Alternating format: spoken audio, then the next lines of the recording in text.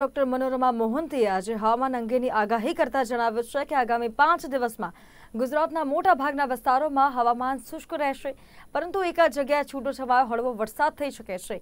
એનાથી વધારે વરસાદ થવાની શક્યતા નથી, જ્યારે આગામી ચોવીસ કલાકમાં સૌરાષ્ટ્રના અમરેલી, રાજકોટ, પોરબંદર, દ્વારકા અને કચ્છમાં સામાન્ય વરસાદની આગાહી કરાઈ છે.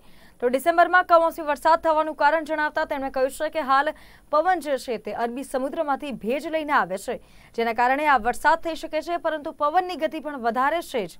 વાદળો બનશે, પણ બહુ જલ્દી વાદળો હટી પણ જશે. આ દરમિયાન એકાદ જગ્યામાં સામાન્ય વરસાદ થઈ શકે છે. અમદાવાદમાં જે પંદર પોઈન્ટ પાંચ, તો ગાંધીનગરમાં ચૌદ ડિગ્રી તાપમાન નોંધાયું છે. જ્યારે સૌથી ઓછું નલિયામાં અગિયાર પોઈન્ટ આઠ ડિગ્રી જેટલું તાપમાન નોંધાયું છે.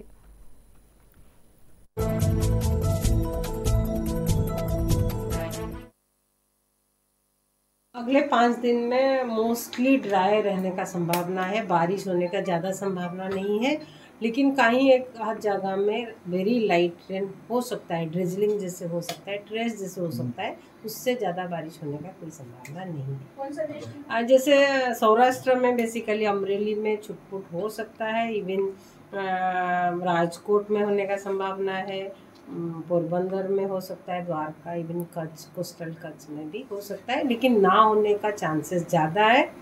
बहुत कम चांस है कि लाइट रेन एक्सट्रीम मतलब वेरी लाइट रेन अभी फ़िलहाल जो विंड अपर लेवल में 700 मिलीबार लेवल में अपर लेवल में विंड जो है वो अरबियन सी से मॉइस्चर लेके आता है।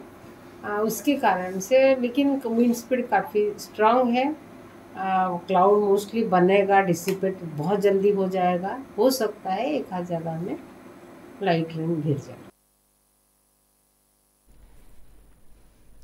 આણંદ વલ્લભ વિદ્યાનગર ચરોતર વિદ્યામંડળ યુનિવર્સિટીનો પહેલો પદવીદાન સમારોહ યોજાયો હતો વલ્લભ વિદ્યાનગરના શાસ્ત્રી મેદાન